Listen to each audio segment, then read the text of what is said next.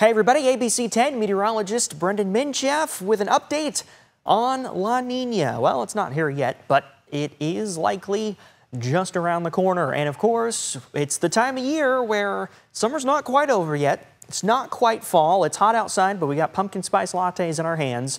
And so we're kind of starting to think a little bit about the rainy season. When is it going to rain again? Will it be a rainy winter? Is there good news on the horizon or maybe some sour news? Well, we, we can't answer all those questions, but we can do a little bit of a look ahead. We'll start with climatology. When does the rain return? Well, our first, our average first day with a quarter of an inch of rain in Sacramento, that's on October 25th. So we're still uh, more than a month away from that, almost two months away from our average first day with a quarter of an quarter of an inch of rain. But of course, that's not a real rainy day. A real rainy day is when we start talking about an inch of rain or more. While our average first day with at least an inch of rain, that doesn't happen until the middle of December, December 16th. So we are still quite a ways away from those real rainy days. Of course, we would expect that. We know December, January, February are on average the rainiest months in Sacramento. So we would expect to see that number a little bit down the road. But we're not that far from that first quarter inch day. And of course, we do usually see some showers in the valley by the time we get towards late September early October. Uh, but this is more of a conversation about what can we expect this winter. Uh, are there any signs, any clues as to what the winter is looking like? And as I think a lot of us are familiar with, La Nina or El Nino, that's kind of the primary driver when we start talking about seasonal look aheads, especially as it relates to winter. So here's where we're at as of August 28th in terms of sea surface temperature anomalies. You see a lot of blue across the equatorial Pacific and in the Nino 3.4 region. Well, we are negative. It's 0.83 degrees Celsius below normal. That's that anomaly, right? A little below, coming up on a degree uh, Celsius, cooler than usual. That's indicative of a weak La Nina starting to develop. And there's some other signs we can look at as well. And uh, one of those is what does the undersea uh, temperature look like? Are we seeing pockets of cold water underneath the equatorial Pacific and then will eventually rise up off the coast of South America? Yes, we are. We are seeing colder than normal water uh, underneath that sea surface. And the way that it works, it just kind of cycles, right? These are uh, these waves all propagate off to the west, but then underneath of these waves, literally as you go 100 meters, 200 meters, 300 to 500 meters below the surface, you can see the temperatures. We've got a ton of buoys out here, and we're seeing below normal temperatures that will upwell off the coast of South America uh, in a month to two months' time. So that is indicative of a building La Nina. And so when we look at those models, that's what we see. But it's a weaker one. It's not a real strong La Nina, and honestly, it doesn't last all that long. So here's where we are today, coming up at the end of August, start of September, still in those neutral conditions, but as we head through the fall months, we're going to see those temperatures drop even more, those sea surface temperatures drop, and that is going to bring us into a weak La Nina. That's what the models are saying as we head in towards about November, December timeframe, and we'll stay that way through about January before we start to shift back into more of a neutral pattern for the second half of the rainy season. So it's not looking to be a real strong La Nina that develops. Before we talk more about the differences between a weak La Nina and a strong La Nina, let's refresh ourselves on what the difference between El Nino and La Nina is because there are some differences and it means different things generally for weather on the west coast and of course here in northern California. So we're going to run through the textbook animations here. When it's neutral conditions, you got your trade winds, right? Pushing, like we said, pushing that water off to the west through the equatorial Pacific. Normally you get some cooler water off the coast of South America, some warmer water that pools up in the central Pacific and then off into Oceania. That's a neutral pattern. But typically we don't stay neutral for long. We're usually either in El Nino or La Nina. These patterns can last anywhere from about six months to 18 months, and then they'll flip back. They are patterns. In fact, they're oscillations because we don't stay in one pattern forever. It switches back and forth. This is what El Nino looks like.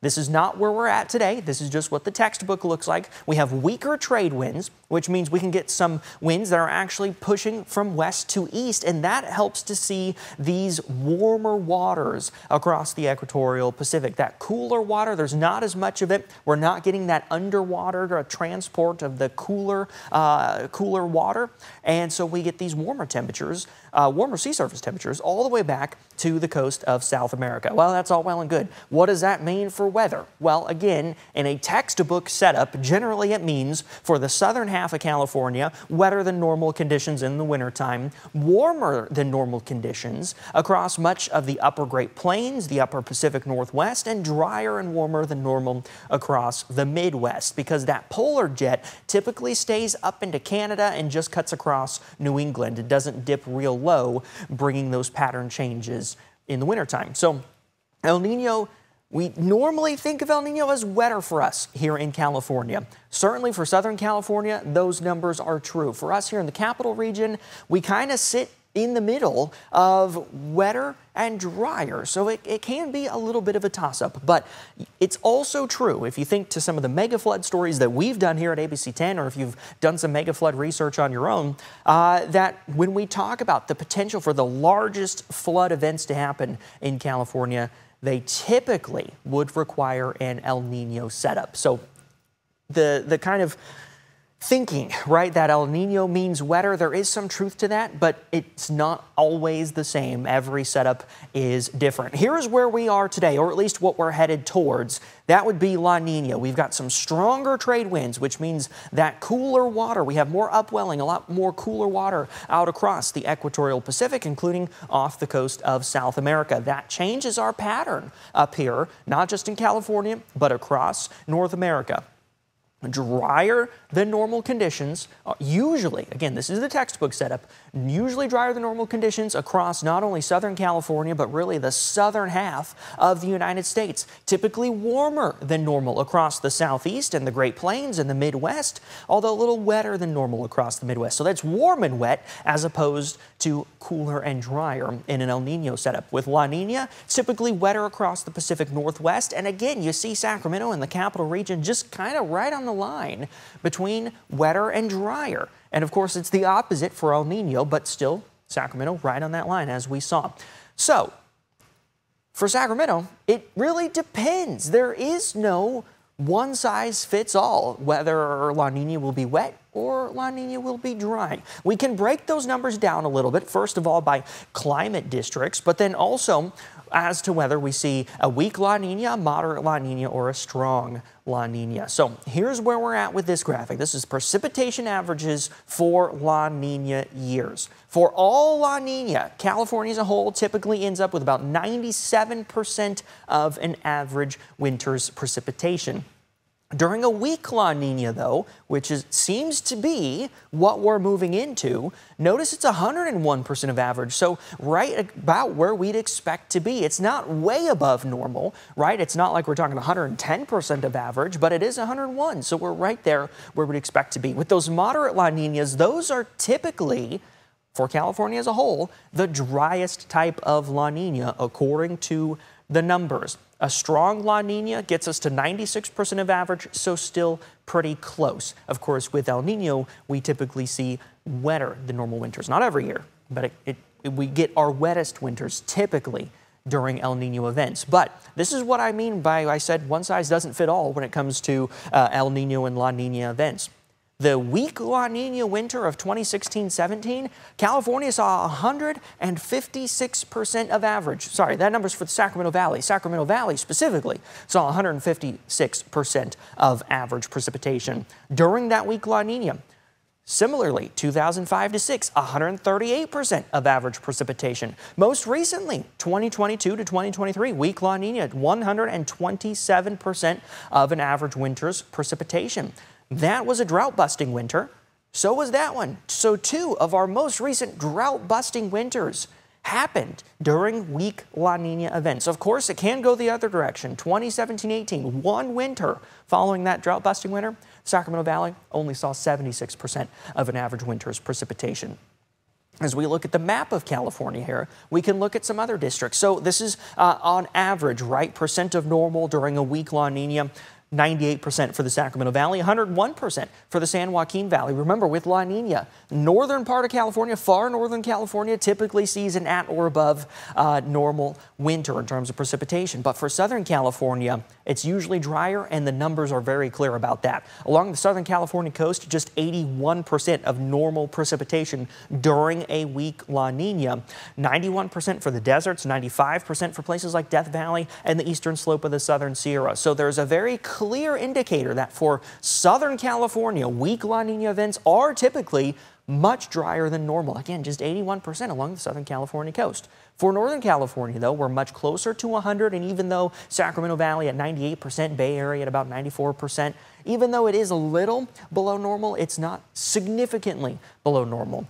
And I will just reiterate one more time. We can get a lot of variability even in similar setups, right? These were all weak La Nina winters, but all of them produced different amounts of average precipitation. And it's not just those five, those are just five that I've highlighted. So not every El Nino La Nina is the same. You can get a very wet El Nino, you can get a very dry La Nina, and vice versa. But there's also other patterns that influence whether or not we see rain and snow and wet winters and whatnot across the West Coast. And one of those that we look at is the Pacific North American pattern. A few minutes ago, I said El Nino La Nina can last six to about 18 months.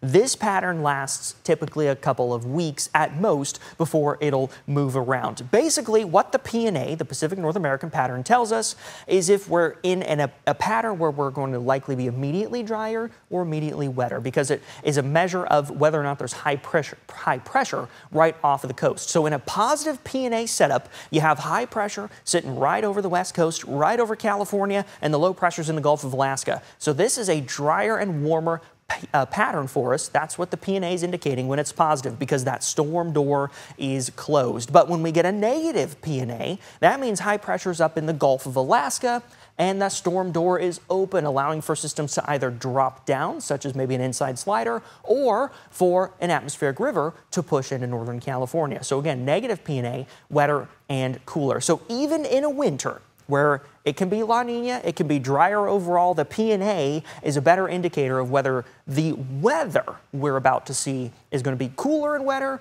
or warmer and drier. And that's something that we will track a lot as we head through the winter time. Now, the question on everybody's mind, are we looking at a wetter uh, winter, a drier winter, warmer, cooler? We can look at the seasonal climate models. I will be honest with you and say I remember looking at these for the winter of 2022 2023. As we talked about, that was an exceptionally wet winter and it was in a weak La Nina to a neutral pattern. The climate models, the seasonal climate models, completely busted. They did not handle it at all. They did not pick up on the uh, anomalously wet winter that we had when we were looking at these models in September and October. It, again, it got December, January, February wrong. So we can look at these, but remember, you got to take it with a grain of salt because things change, and this is meant to be kind of an overarching look and not whether maybe just a few weeks in December or maybe a few days in December will be very wet. This is kind of a seasonal outlook. So we're going to look at this, but this is, it's hard to call it a forecast because it's just kind of peering into the future. That being said, We'll look at the NMME, that's the North American Multi-Model Ensemble, in terms of temperature anomaly. This is for the three-month period of November, December, and January. Warmer across the United States, including the desert Southwest and the West Coast. We can also look at the European version of the same model in terms of temperature anomaly. It shows the same thing, warmer across the desert Southwest and the West Coast, but honestly, across the United States. We can look at this for rainfall.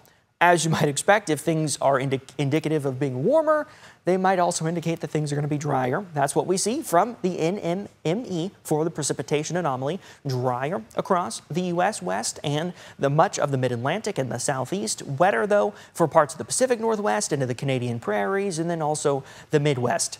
That's pretty typical of La Nina. Doesn't look that different from the textbook version of La Nina that we were looking at just a few minutes ago. And a similar pattern is seen on the European precip anomaly map. drier across much of the U.S. West. The Pacific Northwest seeing a little bit more rain. Same across the Canadian prairies, but then drier across the southeast, up into the mid Atlantic, and wetter in parts of the Northeast and the upper Midwest.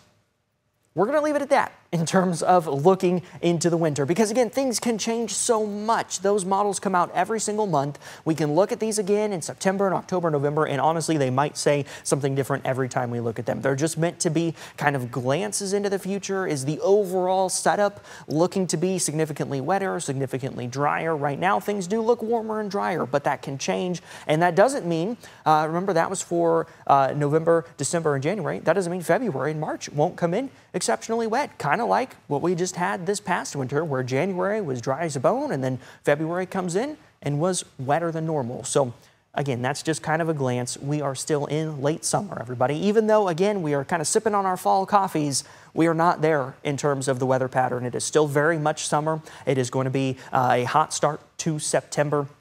So we're just not there yet. But we will continue to do these kind of seasonal outlooks. We'll continue to look ahead towards the winter, continue to update you on the developing La Nina out across the equatorial Pacific. And you can find all those updates on ABC 10 Plus. It's a free streaming app. You can download it wherever you stream. We've got a weather playlist. You can find videos just like this one. You can find extended forecasts and weather explainers, as well as weather, fire, and climate specials. That's all on the weather playlist on the ABC 10 Plus app. Thanks for watching.